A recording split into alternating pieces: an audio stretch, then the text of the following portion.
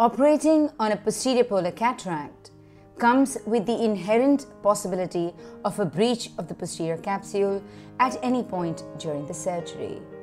We as anterior segment surgeons need to be equipped with the know-how, the skill set of what is the technique that we need to follow should there be a breach in the posterior capsule and a nucleus drop.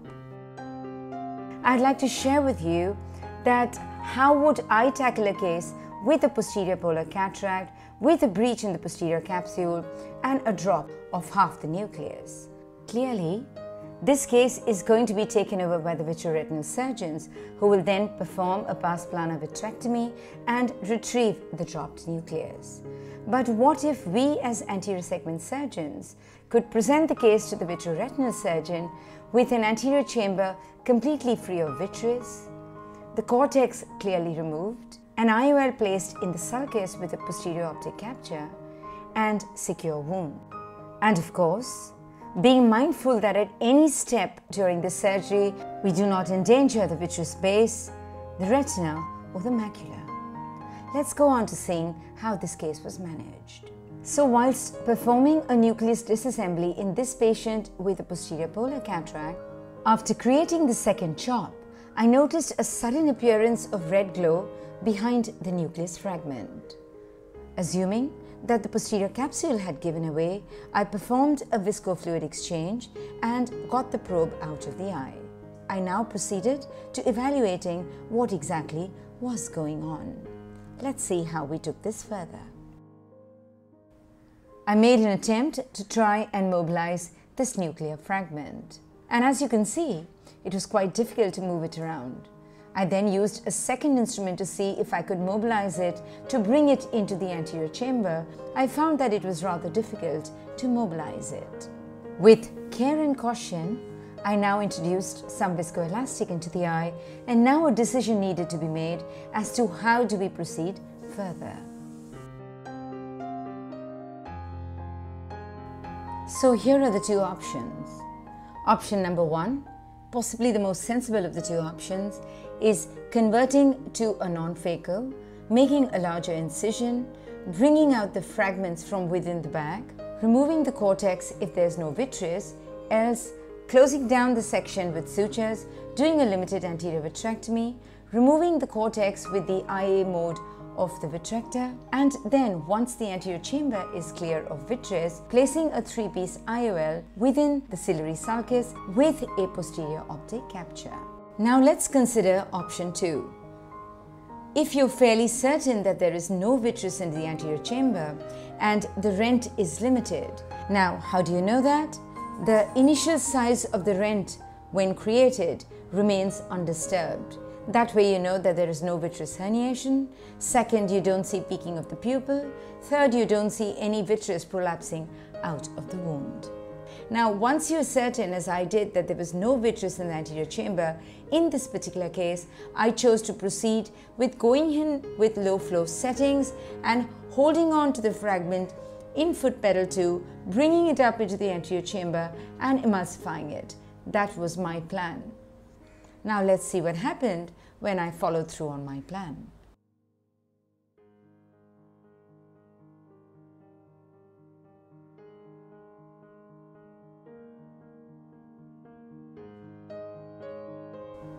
Moving back to the case. As you can see, a linear PCR is noticed. It appears to be a classic polar tear. I now introduce the probe with irrigation off and as soon as I turn the irrigation on, watch what happens. The posterior capsular opening opens up and there is a drop of the proximal heminucleus. Now, if you ever have a dropping fragment, the one thing you do is never chase it and try and bring it up because that would cause excessive pull on the vitreous base and the possibility of a future retinal detachment. Now let's see how I managed this case. Since there is no vitreous herniation and my probe is anywhere in the eye, I attempt to bring the nucleus up into the anterior chamber and emulsify it. I then proceed to do a viscofluid exchange as you will see now.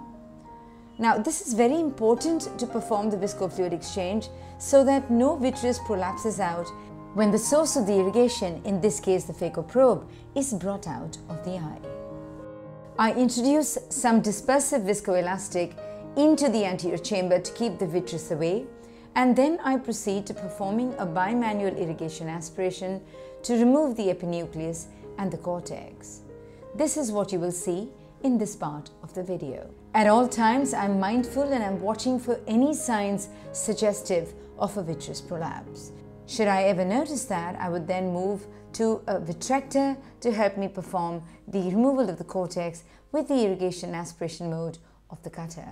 As of now, everything seems to be fine, so I proceed with the irrigation aspiration itself.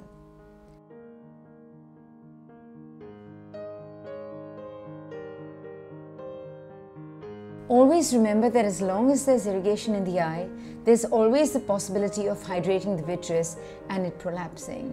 So intermittently, I like to inject some dispersive viscoelastic to keep the vitreous away.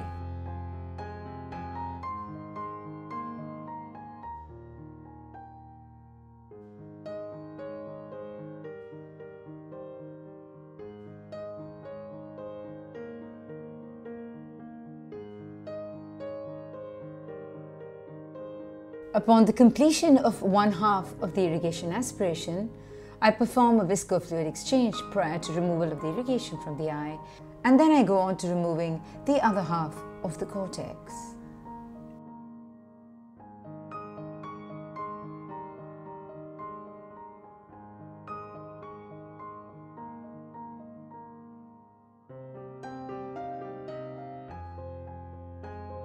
At this point, I noticed some resistance to the removal of cortex.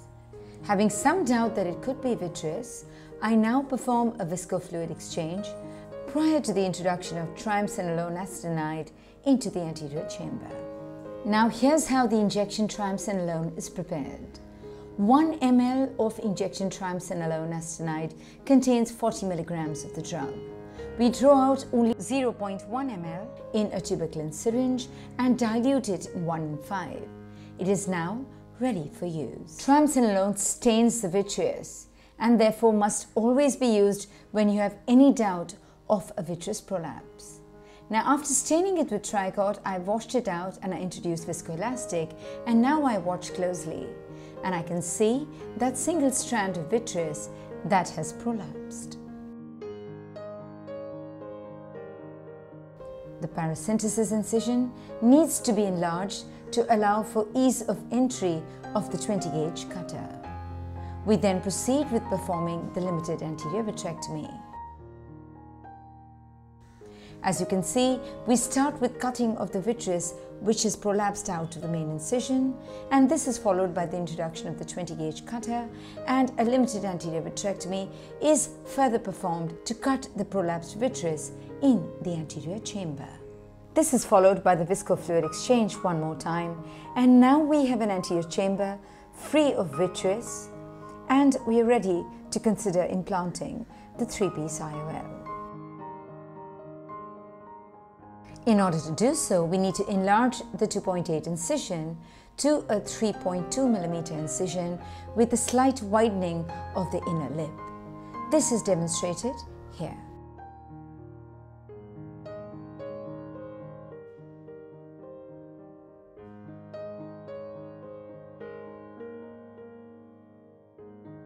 We now move to the loading of the three-piece IOL.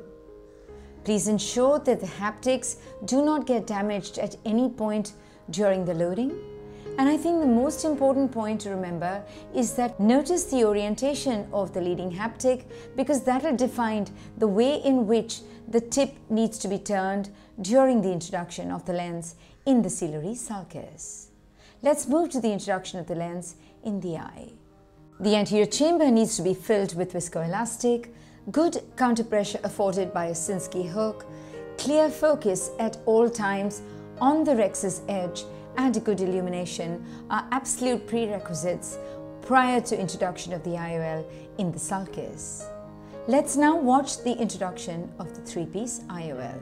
Having ensured that the leading haptic is above the rhexis edge, The IOL is supported on the undersurface with the Sinskey hook, while the rest of the IOL is injected into the anterior chamber and the cartridge withdrawn. With the help of a Kuglen hook that hitches onto the trailing optic haptic junction, the IOL is rotated into the ciliary sulcus.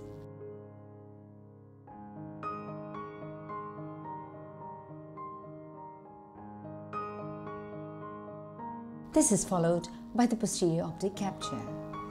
You can see how the optic is pushed behind and both edges of the rhexis come up in front of it. So when you complete a posterior optic capture, you have the haptics still within the sulcus and the optic under the rhexis. This allows for a very stable positioning of the IOL. This is followed by the removal of the excessive viscoelastic from the anterior chamber using bimanual irrigation aspiration. It is important to ensure that we do not disturb the posterior optic capture whilst performing this maneuver.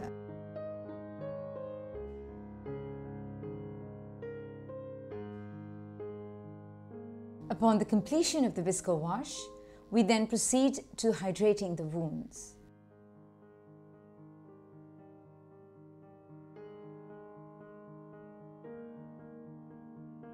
The main incision is then sutured with a single 10-0 prolene suture which is then buried as demonstrated here.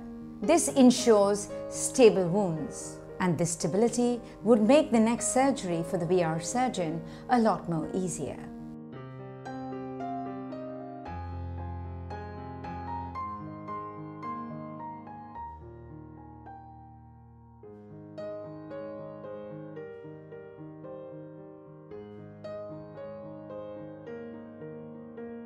And here we are at the end of our case. A stable IOL with a posterior optic capture, an anterior chamber free of vitreous, and stable secure wounds. We now refer the patient to our vitreoretinal surgeons who will then perform a pars plana vitrectomy and fragment removal. The most important take-home message here is that without endangering the posterior segment in any way, we as anterior segment surgeons, if we are able to perform a limited anterior vitrectomy, remove the cortex completely, place an IOL in the ciliary sulcus and stabilize it by performing a posterior optic capture and stabilize the wounds by suturing the main incision, I think the way in which we hand the patient to the posterior segment surgeon leaves them with the only responsibility now of going pars plana performing a pars plana vitrectomy and retrieval of the dropped fragment. I hope you found this video tutorial useful. Thank you.